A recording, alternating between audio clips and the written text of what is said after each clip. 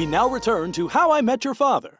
Oh, Barney, I'm never gonna meet the right girl and get married. You know, Ted, don't you think it's kind of strange for a guy in his 20s to always be talking about getting married rather than getting laid? Barney, I'm in love with you. Suit up. All right, come on, everyone. Go get dressed. It's ballet night. Oh, Lois, don't freaking put me through this again. Peter, a little culture is good for this family. Besides, you liked the Nutcracker, didn't you? No, Lois, I did not. The Nutcracker had zero physical comedy. And and with a name like the Nutcracker, I thought, oh, this'll be worth a few yucks. But no, Lois. That title wrote a check that those queers on stage refused to cash. Peter, we're going. Well, we're not the first people to be dragged off against our will. Are we there yet? No. Are we there yet? No. Are we there yet? Damn it, I swear to God, I will turn this ship around. That works. Okay. It would teach us a lesson. Yeah, that's even better. All right, if that's what you. Wait a minute!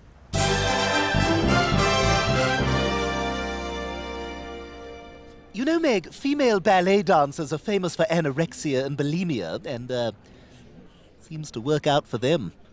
So, hintity hint hint. Boy, this is gonna be long.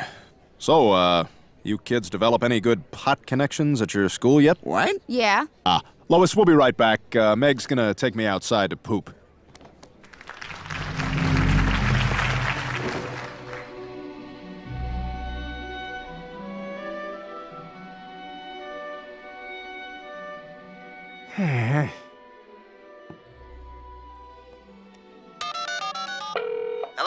Hey, Quagmire. Hey, Peter, what's up? I'm stuck at the stupid ballet. Get out of here. You serious? Yeah. So am I. What? Yeah, I got dragged here by this broad I'm trying to screw. Where you sitting? Look across at the other balcony. I can see you.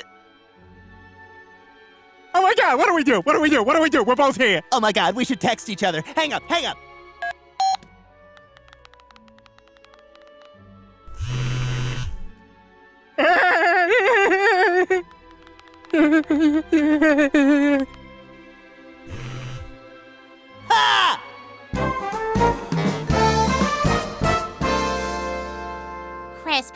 times have I told you no reading during meals? I have a history test today, Mom, and I couldn't study last night because you made us go to the ballet.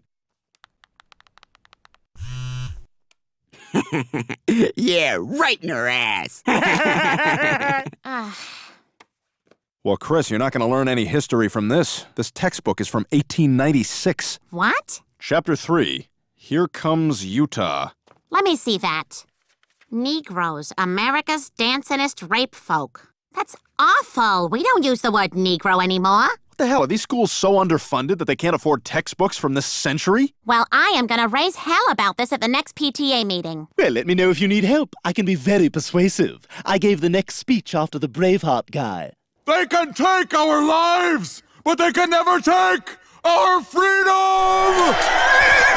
And, and, let's not forget the tax they levied on properties that are an abutment of church lands. So, yeah, let's do it.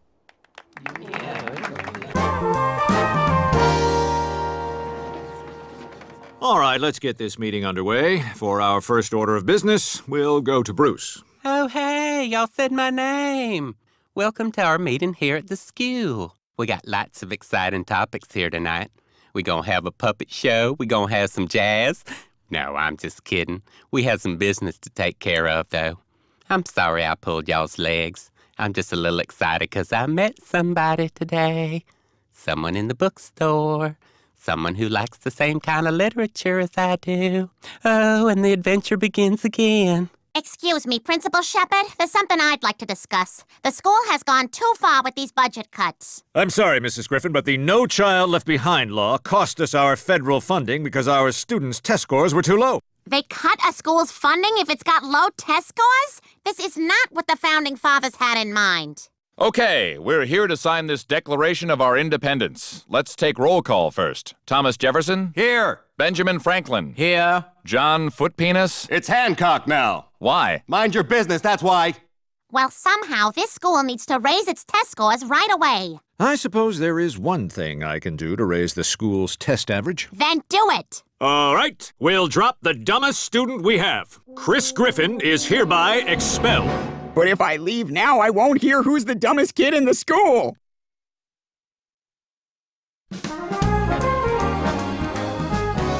Cool. I don't have to go to school. I can just pee in my bed all day. Chris, being expelled is a serious thing. Peter, we've got to find another school for him. I say, I could homeschool him. After all, I taught Cleveland how to make Jiffy Pop. Oh! oh! Oh! So, do you think your school would be right for Chris? Oh, absolutely. Quahog School for the Deaf has great programs, both academic and athletic. In fact, you're just in time for our homecoming pep rally. What are we gonna do to Lincoln? Kill them! I can't hear you! Kill them! I can't hear you! Kill them! I can't hear you!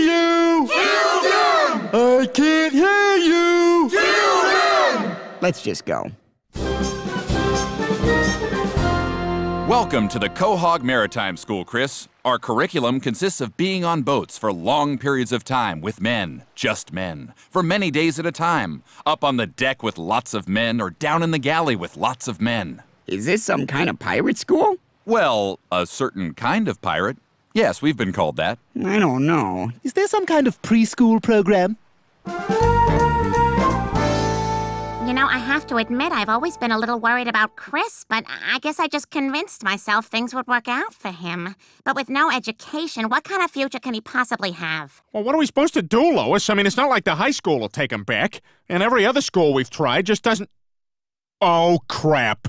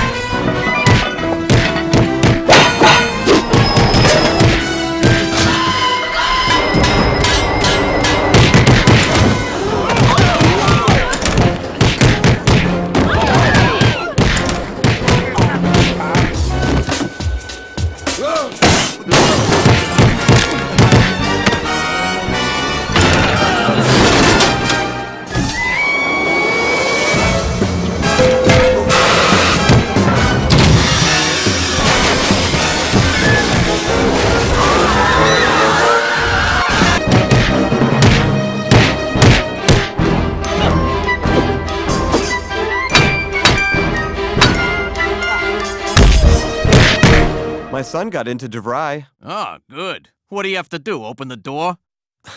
Can't you let me have anything? Wait,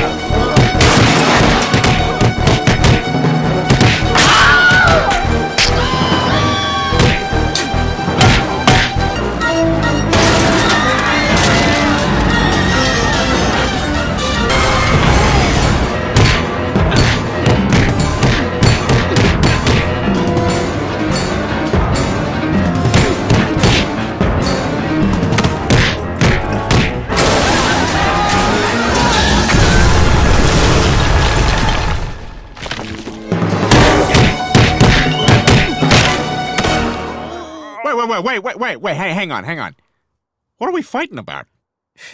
You know, I have completely forgotten. Me too. Uh, I- something about a coupon. I, I, it's I cannot for the life of me remember. Oh I- my god, that's ridiculous. You know what? I, I, I just, I hope I didn't hurt you. No, no, no, I'm I'd fine. feel I'm- I'm all right. I'm all right. About that. But listen, you know what? Let me make it up to you.